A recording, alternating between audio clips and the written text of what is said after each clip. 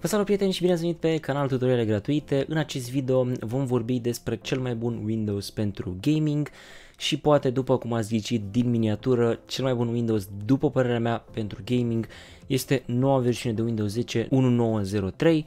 Pentru cei care nu știați, uh, Microsoft are lansat recent o versiune din mai deja care este Windows 10 1903. Vreau să vă zic un mic disclaimer, ceea ce vă voi prezenta în acest video și părerea pe care vă voi da în acest video este strict părerea mea. Eventual încercați și voi, testați-l și voi, dar eu l-am folosit și vă voi da o părere după ce am folosit acest sistem de operare deja de aproape o lună. Și vă voi spune câteva chestii care îmi plac mie foarte mult, câteva chestii noi care s-au adăugat și poate sunt persoane dintre voi care încă nu au făcut update-ul, poate aveți alt Windows și poate ar fi interesant să vedeți ce uh, chestii noi avem în această versiune.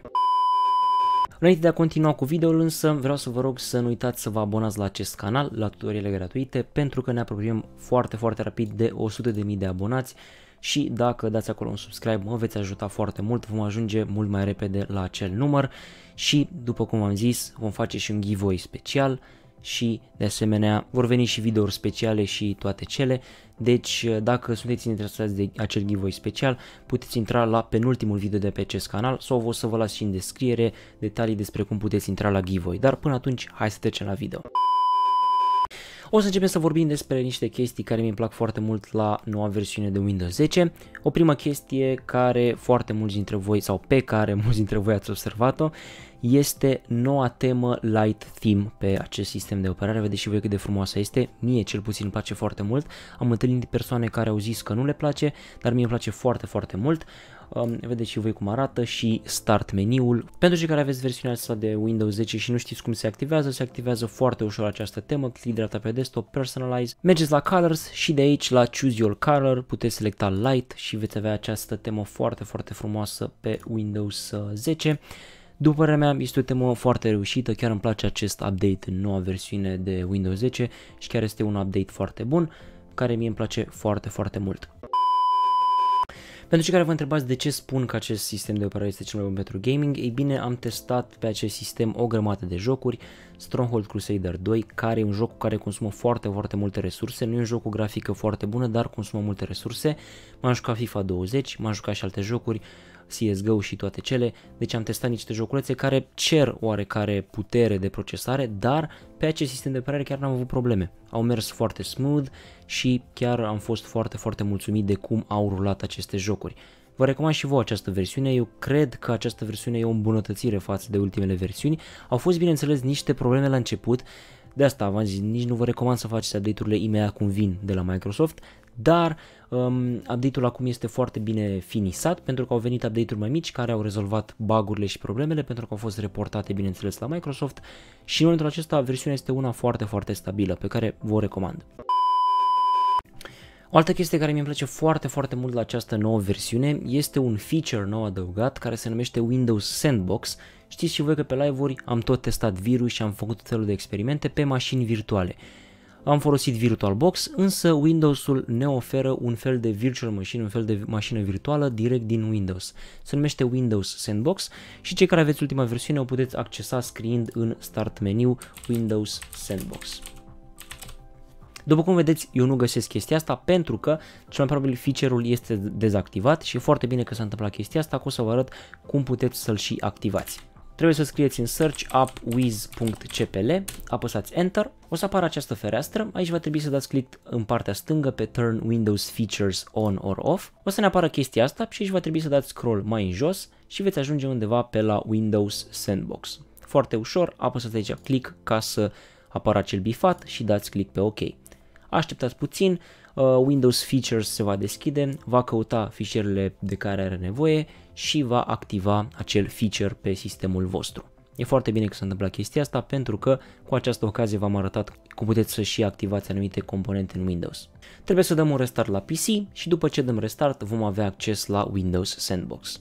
După ce am dat restart sistemului de operare, vom avea acces la Windows Sandbox, vedeți și voi aici, apăsăm Enter, ne va apărea User Account Control, dar așteptăm câteva secunde și Windows Sandbox va rula.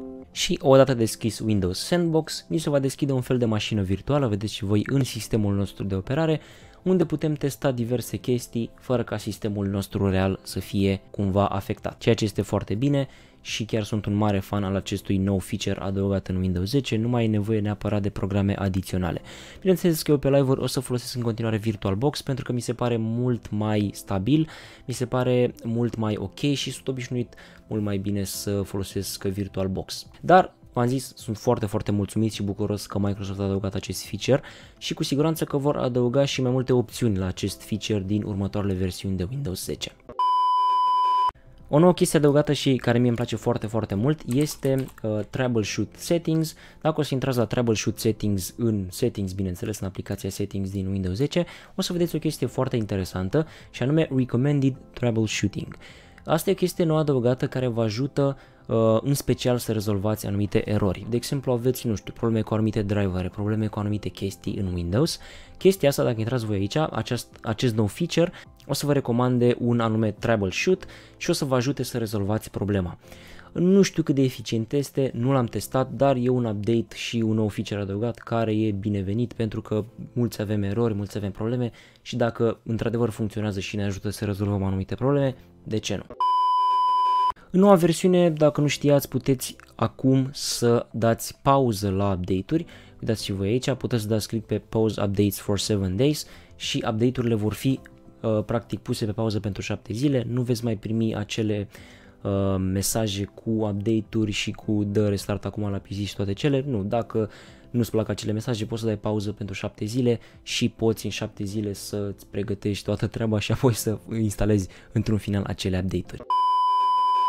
Au fost aduse câteva modificări și la Search, după cum vedeți și voi aici sunt câteva update-uri foarte interesante care ne arată istoricul căutărilor noastre, ne arată aici uh, top aplicații pe care le folosim, uh, bineînțeles browserul e unul dintre ele, e Notepad, interesant și File Explorer, aveți aici și câteva categorii pe care le puteți folosi și apropo puteți să căutați într-un mod automat pe internet, de exemplu eu pot să caut aici tutoriale gratuite, da? apăs Enter.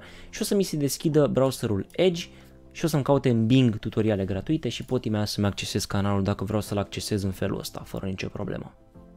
Da, un update foarte fain și la Windows Search, îmi place că lucrează la Windows Search pentru că îl foloseam foarte mult și e mult mai rapid. Cu componentele pe care le aveam eu acum pe PC, pe care le aveți și în secțiunea despre la canal, uneori aveam un mic delay la search. Când dădeam click pe el aveam un mic delay, ceea ce era destul de enervant pentru că vreau să fac o chestie rapidă, apăsam tasta Windows sau apăsam Windows și Q și foarte încet pornea search-ul, dar acum văd că l-au, l-au făcut încât să fie mult mai stabil și mult mai rapid, ceea ce îmi place foarte, foarte mult.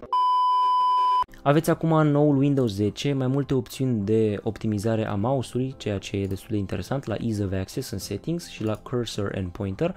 Puteți să customizați mult mai mult mouse-ul. E ceva legat de customizare, nu e foarte interesant, nu afectează performanța, dar uh, poate unii dintre voi sunteți pasionați și de chestia asta.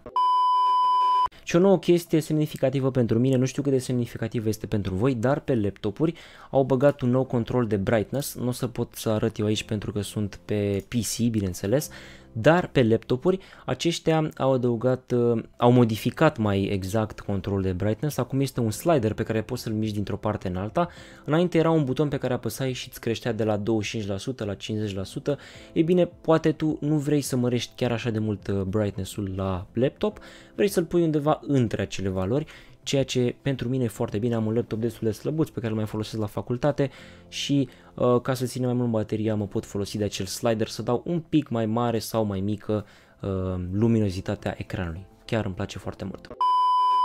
Cam asta a fost videoul acesta, am vrut să fac un video în care să vă vorbesc puțin despre noua versiune de Windows 10, știu că e un video întârziat, dar am zis să o testez, să văd dacă găsesc ceva probleme și pentru mine a mers foarte, foarte bine, nu am găsit probleme, o recomand din toată inima, chiar e o versiune foarte, foarte bună, faceți update-ul acum. Dacă aveți Windows 7, chiar vă recomand să instalați această versiune de Windows 10.